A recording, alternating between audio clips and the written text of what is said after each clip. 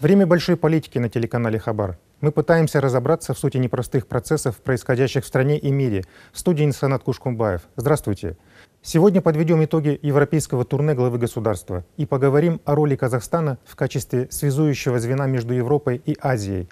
Азия-Европа. Именно так была обозначена основная тема прошедшего в Брюсселе форума, на котором Нурсултан Назарбаев говорил о необходимости глобального диалога для сотрудничества – Соглашение о расширенном партнерстве и сотрудничестве Казахстан заключил с ЕС еще в 2015 году.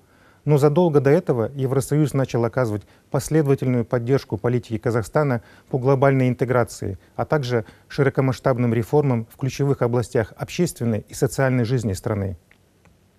Это, в свою очередь, обеспечило создание привлекательного бизнес-климата для иностранных инвесторов, а им, как известно, нужна стабильность.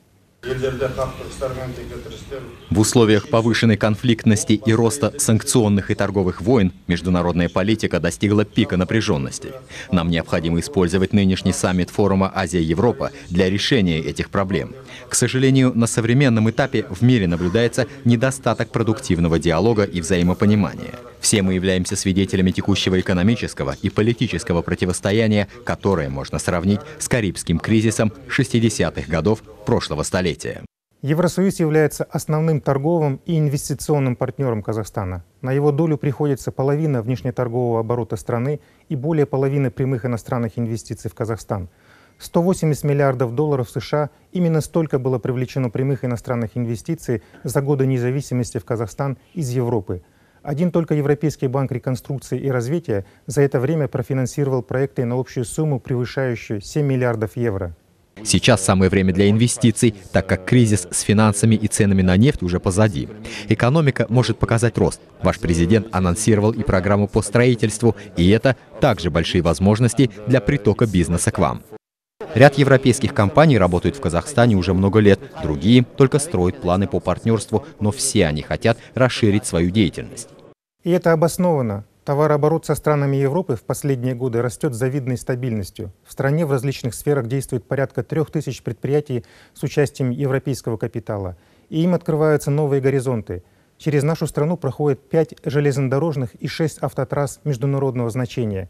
Они связывают Азию с Европой через Каспий и Черное море, акватории России, Ирана и Турции.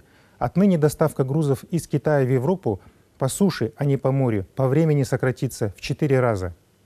Сейчас ключевой момент – это сотрудничество с Китаем и развитие нового шелкового пути. Казахстан очень выгодно расположен на нем и может стать большим игроком в транспортировке. И не только. Следует отметить, что Казахстан открывает миру новые возможности для выгодного ведения бизнеса. В частности, для эффективного взаимодействия с инвесторами и бизнесом созданы национальные компании «Казахинвест» и «Казахэкспорт».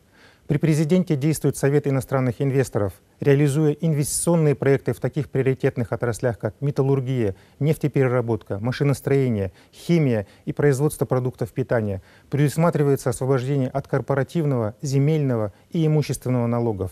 Упрощен порядок получения лицензий и заключения контрактов на недропользование.